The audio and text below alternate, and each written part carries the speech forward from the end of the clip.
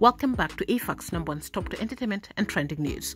Recently, Murugi Munyi did an interview with Lynn Ngugi, and it seemed to have been a wholesome interview. People seemed to have enjoyed it. People spoke about maturity, and she dived on various topics. And one that she has never spoken about is of her marriage with Zach. We know how that went or played out on social media. We have also covered that story here. I am not going to dive into that. I will link those videos somewhere on the screen or towards the end so that you can watch it if you don't know what we're talking about. But Nurse Judy had done a video with receipts and you can see the exchanges that she was having with Murugi allegedly. Well, this interview that she did with Lynn Ngugi seems to have not sat well with her and she has put several statements and that is what we are diving into. But before we get into that, if I remember correctly, Murugi Munyi had shared with Lynn that her husband Zach is a very private person and that story breaking out and all those things happening really affected them as a couple. And at some point, they even separated, but not really breaking up because that situation was causing them so much stress and it was just impossible for them to be together at that time in a respectable way. If I can correctly remember, she mentioned that they have gone to therapy, and something that she said is that not everyone is happy that her marriage is currently working. People are still angry that her and Zach are still together and that they are happy, and sometimes she gets messages from people that are saying she's pretending to be happy, telling her that it's okay to let go. She did mention that she is genuinely in a happy place in her marriage, and there's no pretending there. Anyway, both marriages to both parties were restored. Murugi Munyi is still with Zach, and Nurse Judy is still with her husband. But I want us to just listen a little bit on what Murugi Munyi responded about Nurse Judy, that we don't take or add anything to what she said. Lady in the picture, do you hold any resentment towards her? I don't think so. I feel like I'm indifferent. Yeah. I'm indifferent because um, whether or not anything happened between her and my husband, I feel like the only person who is accountable to me Yes. is my husband.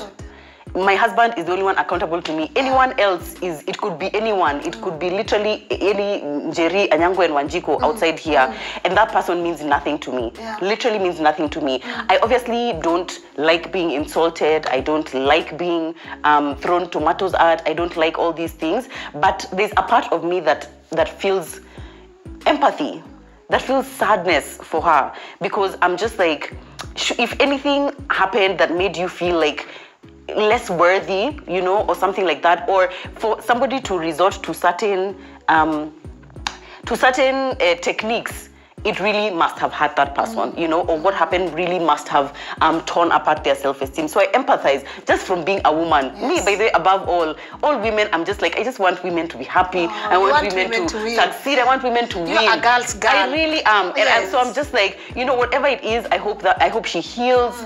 I hope she prospers. Yes. And I, for me, this whole thing about uh, I, I- holding a grudge is already again you're giving someone so much power in your heart.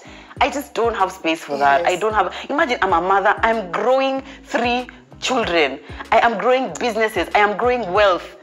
Do I have time and energy really to be somewhere thinking about at this one person I am so angry? I really Yes. just don't. Yeah. so I wouldn't say that Ati, she's my best friend or whatever, but I but I definitely don't hold anger. I don't hold resentment. I'm just indifferent. She's just a person out there Yeah. who is not in my marriage. The person who I, I, I am committed to and um, growing something with is my husband. And that's that it. is the person who I continue to Good. remain, um, Yes. you know, who will continue to remain accountable to me and who I will continue to remain accountable And that is what Murugi Munyi said on Nurse Judy. So now let's get to Nurse Judy, who is reacting to what Murugi Munyi said there.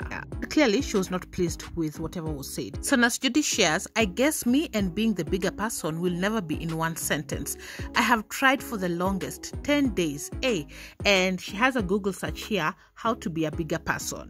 The two last weeks, I have received all sorts of DMs because of the never ending story, and as usual, some bashing me and some sending me positive vibes after they watched that interview. I am a big fan of Flynn, and we were even to do an interview back in April, but I had limited time in Africa when I last visited. So, anyway, initially I was not gonna watch, but it's this particular screen recording a follower sent me, and there is that part that tickled me. So, I decided to skip the interview until the part they touched on the issue involving me, which we have just watched together. So this woman goes on to tell Lynn Ngugi that, oh, you know, she is indifferent to me. I don't have a problem with her and I don't hate her and blah blah the bullshitting that went on and on till the part where she said the person who was answerable and accountable to her is her own husband.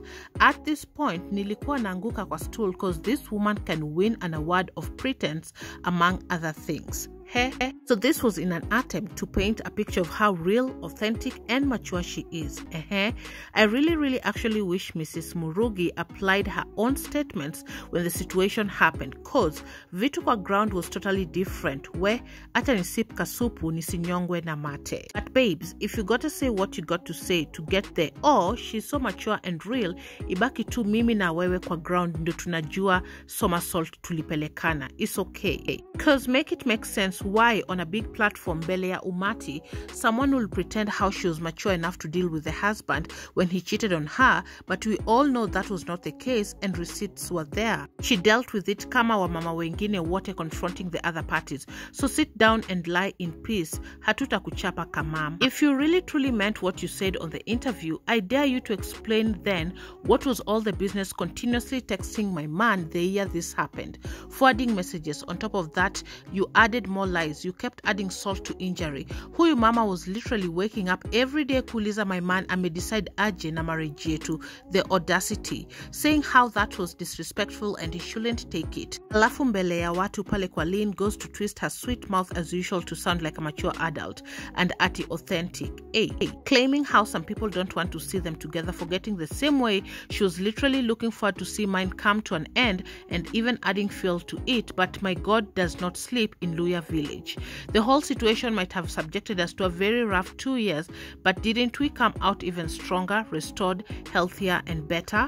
Goes ahead to say I insulted her and threw tomatoes on her. Baby, when? Where? By stating facts, by letting your secrets out too. It might not have been my part to tell, but I did, and never lied even a single part, from noodles to Z. Let me take you back to when these babes, back in the days when I used to consume her content, she used to have this segment of advising women. I just recall how she would be like, sis, you already know what you are supposed to do. Your man is cheating on you, speaking ill of you with a side chick, and you're still talking about you're confused what to do. That man is trash, leave him. Then the exact scenario happens to her word for word. What did the babes do? This babes goes ahead to express how she felt sadness and empathy for me. A, a complete delulu this one. Because if anything, we were all feeling sad for her. Ouch, all the filthy ill things her own person had to say about her. So mkiambiwa relationship influencers will preach water and drink wine and vile you run to them for advice, learn to deal with your relationship problems. Huku kwa internet mtapotea bure. We are all dealing with all kind of relationship problems and half the time we all don't know how to deal with them with them problems. It's always a trial and error of solving shit. You make mistakes while at it, learn and relearn. No influencers out there have manual for this shit. They are mostly in the business of content. Halil Minions will be here shortly saying, oh, you need to heal because hakuna sentence ingine mnajuaga. Uwanja ni yenyu. Good night. And that is how Nurse Judy has decided to react and respond to Murugi Munyi's interview with Lynn Ngugi. Wrap to date. Thanks so much for watching. Subscribe and hit that notification bell so you'll be the first to be notified once of any new uploads. I'll catch you on the next one. Bye bye.